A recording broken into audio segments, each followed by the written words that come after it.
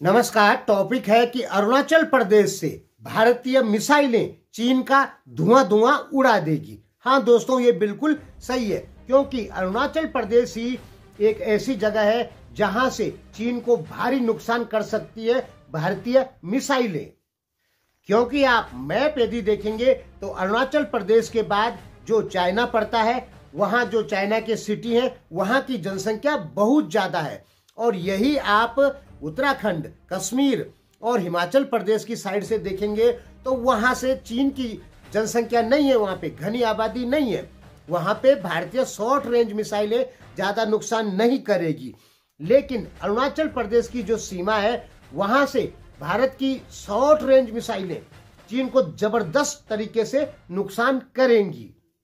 अगर अरुणाचल प्रदेश भारत के हाथ से निकला तो भारत चीन का नुकसान करने में कामयाब नहीं हो पाएगा। तब उल्टा चीन की मिसाइलें भारत में तबाही ले आएगी। अरुणाचल प्रदेश जो है, वो भारत के हाथ से निकल गया तो ये जान लीजिए कि तब भारत की प्रत्येक मिसाइल को कम से कम हज़ार बारह सौ किलोमीटर और ज़्यादा दूरी तय करनी पड़ेगी चीन का नुकसान करने के लिए। इसलिए आपने देखा होगा कि चीन अरुणाचल प्रदेश के पीछे पड़ा है, क्योंकि चीन ये अच्छे से जानता है कि अरुणाचल प्रदेश का जो फ्रंट है, वहाँ से भारत को नहीं हराया जा सकता। और वहाँ से भारत चीन का बहुत भारी नुकसान कर देगा अपनी मिसाइलों से, अपने फाइटर प्लेनों से। अरुणाचल प्रदेश से लहासा को अच्छे से निशाना बनाया जा सकता है, और भी बहुत सारी सिटियाँ हैं। वो तिब्बत की सिटियाँ नहीं, लहासा जो है वो तिब्बत की राजधानी है। तिब्बत पहले अलग देश था। अरुणाचल प्रदेश से डायरेक्ट चीन को हिट किया जा सकता है। भारत की शॉर्ट रेंज जो मिसाइलें हैं, वो देखिए, लॉन्ग रेंज मिसाइलें जो होती हैं, वो आसानी से उनको नहीं चलाया जाता क्यों नहीं चलाया जाता? क्योंकि एक तो महँगी होती है, वो केवल एटम बम के लिए ही होती है। छोटा मोटा जो हम बारूद लेकर जाएँगे, बम लेके जाएँगे तो वो इंटरकॉन्टिनेंटल बैलिस्टिक मिसाइल से नहीं लेके जाएँगे। यानी छोटे मोटे जो बम होते हैं उनको हम अग्नि पाँच अग्नि चार अग्नि तीन से नहीं लेके जा सकते क्योंकि ये जो मिसाइलें हैं ये बहुत महँगी है। इसलिए अग्नि फाइव जैसी मिसाइलें जो हैं वो केवल एटम बम बन, ले जाने के लिए ही हैं। और भारत चीन वार में एटम बम नहीं चलेंगे। इतना आसान नहीं है कि परमाणु बमों का प्रयोग कर दे कोई भी न भारत करेगा न चाइना करेगा। चीन के पास में तीन हज़ार किलो टन तक के परमाणु बम है। हमारे पास में 200 किलो टन के मात्र, ठीक है? चीन एटम बम में हमसे बहुत आगे है। वो मनमोहन सिंह की गलती है। अमेरिका से 2008-9 में समझौता कर लिया कि हम अब परमाणु बम का टेस्ट नहीं करेंगे 200 किलो टन से ज़्यादा बम का परीक्षण नहीं करेंगे। ये मनमोहन सरकार की सबसे बड़ी गलती है। भारत को कम से कम 1500 kilo ton 2000 kilo ton atom bomb के टेस्ट करने चाहिए थे। लेकिन मनमोहन सरकार दबाव में आ गई अमेरिका के, इसलिए उसने टेस्ट नहीं किया। ये सबसे बड़ी गलती है भारत सरकार की।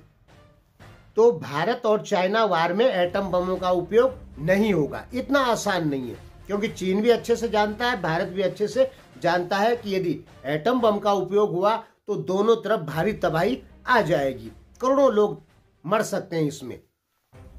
तो यहाँ पे शॉर्ट रेंज मिसाइलें और फाइटर प्लेन इनका उपयोग होगा। तो अरुणाचल प्रदेश ही ऐसी जगह है जहाँ से शॉर्ट रेंज, मीडियम रेंज की मिसाइलें 2000 2500 किलोमीटर वाली मिसाइलें इनका ही उपयोग किया जाएगा। 500 किलोमीटर बरमोस जैसी। इनका ही उपयोग होगा। और भारत उत्तराखंड के बॉर्डर से, हिमाचल कश्मीर के बॉर्डर से शॉर्ट रेंज मीडियम रेंज की मिसाइलों से चाइना को ज़्यादा नुकसान नहीं पहुँचा सकता क्योंकि चाइना की चौरानवे परसेंट जो पॉपुलेशन है वो तिब्बत वाले हिस्से में नहीं रहती है। वो साउथ चाइना सी जो एरिया है, उसके अगल बगल के क्षेत्रों में रहती है, जो कि चार हज़ार, पाँच हज़ार किलोमीटर दूर है भारत से। अरुणाचल प्रदेश ही एक ऐसी जगह है, जहाँ से वो जगह नज़दीक पड़ती है। यानी चीन की घनी आबादी अरुणाचल प्रदेश से नज़दीक पड़ती है। बाकी चीन की घनी आबादी उत्तराखंड, हिमाचल, कश्मीर कहीं से भी चीन की घनी आबादी वाली सिटी नहीं है। इसलिए अरुणाचल प्रदेश ऐसी जगह है जहाँ से चीन को भारी नुकसान किया जा सकता है और चीन ये चीज़ अच्छे से जानता है। इसलिए उसका पूरी तरीके से दावा है अरुणाचल प्रदेश के ऊपर। अगर अरुणाचल प्रदेश चीन के कंट्रोल में आ गया तो सोच लीजिए, भारत पे सिकंजा कस लेगा चाइना। और भारत को ऐसा मजबूर कर देगा कि जो समझौते चीन बोलेगा, वो भारत सरकार को करने ही पड़ेंगे।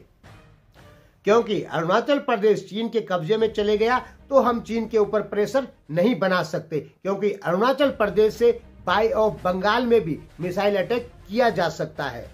और अंडमान निकोबार में भी मिसाइल अटैक कर सकता है चाइना। अगर अरुणाचल प्रदेश चाइना के कंट्रोल में चले गया तो हिंद महासागर तक दूसरे रास्ते से चाइना की डायरेक्ट पहुँच हो जाएगी। अभी इंडियन ओशन में हिंद महासागर में आने के लिए चाइना को लगभग 4000-5000 किलोमीटर अपने समुद्री जहाजों से आना पड़ता है। लेकिन अरुणाचल प्रदेश चाइना के कंट्रोल में चले गया तो पंद्रह सौ हज़ार किलोमीटर दूरी पे इंडियन ओशन में आ जाएगा। यानी उसके कब्जे में आ जाएगा कहीं ना कहीं बाई ऑफ़ बंगाल बंगाल की खाड़ी और अंडमान निकोबार के नज़दीक आ जाएगा। दो तिरफा घिर जाएगा अंडमान निकोबार, एक अरुणाचल प्रदेश के रास्ते से और दूसरा तो चाइना घेर ही रहा है, Bangladesh Chittagong Coco island, Burma Hambantota, यहाँ से तो घेर ही रहा है। एक चीज़ आप साफ़ फाइनल जान लीजिए कि अरुणाचल प्रदेश भारत से निकला तो फिर हम चीन को कभी युद्ध में नहीं हरा पाएँगे। अभी मौजूदा जो स्थिति है, वो लगभग 19 बीस 18 बीस की है। चीन 20 है तो 18 भारत भी है। लेकिन अरुणाचल प्रदेश भारत के हाथ से निकलता है तो तब चीन 20 होगा और भारत 10 और 11 पे आ जाएगा। इतना कमज़ोर पड़ जाएगा चाइना के सामने, क्योंकि तब चाइना के पास में भारत की घनी आबादी को लक्षित करने वाली मिसाइलें होंगी। हालाँकि अभी भी हैं, लेकिन तब चीन के पास में बिल्कुल शॉर्ट रेंज मिसाइलें होंगी, जो पूरे भारत की किसी भी बड़ी सिटी को निशाना बना सकती है। और बड़ी मिसाइलें चलेगी नहीं। बड़ी मिसाइल मैंने इंटरकॉन्टिनेंटल, यानी पाँच हज़ार केमी जिनकी रेंज है उनसे ऊपर। वो मिसाइलें नहीं चलेंगी, क्योंकि वो एटम बम ले जाने के काम आती है। और एक बार किसी देश ने, भारत ने या चाइना ने इंटरकॉन्टिनेंटल बैलिस्टिक मिसाइलों का लड़ाई में यूज़ किया तो परमाणु वार हो जाएगी। इसलिए लंबी रेंज की मिसाइलों का उपयोग इस वार में नहीं होगा, यानी एटम बम का प्रयोग नहीं होगा। और अरुणाचल चाइना के कब्जे में चले गया तो मीडियम रेंज, शॉर्ट रेंज की मिसाइलें ही लड़ाई में उपयोग की जाएगी। कुल मिला जुला के आप ये समझिए कि यदि अरुणाचल प्रदेश भारत के हाथ से निकला तो भारत चीन के सामने, फिर भारतीय सरकार को चीन के सामने नतमस्तक होना पड़ेगा। इसलिए अरुणाचल प्रदेश में मोदी सरकार का ध्यान बहुत ज़्यादा है, क्योंकि हम उत्तराखंड बॉर्डर से कश्मीर बॉर्डर से या हिमाचल बॉर्डर से चीन पे प्रेशर नहीं डाल सकते। वहाँ चीन की आबादी रहती ही नहीं है। धन्यवाद।